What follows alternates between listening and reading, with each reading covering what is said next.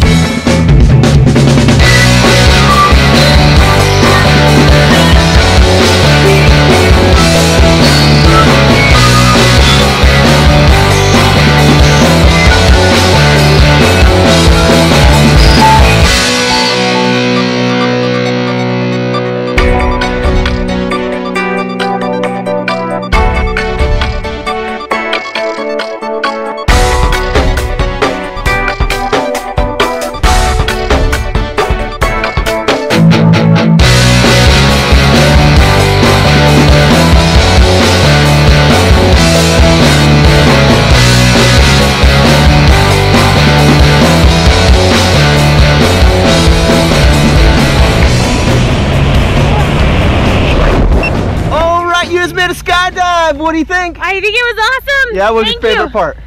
You pushing me out of the plane. awesome. Give a big high five. Thank you. Big thumbs up. Say blue skies. Blue sky. Skydive Taft. We'll see ya.